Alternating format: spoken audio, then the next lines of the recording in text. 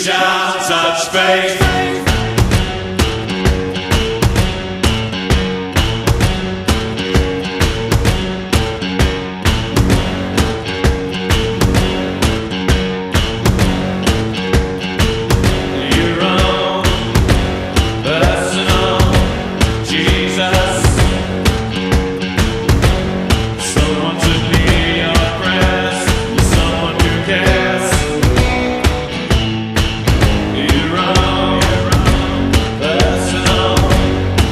Jesus.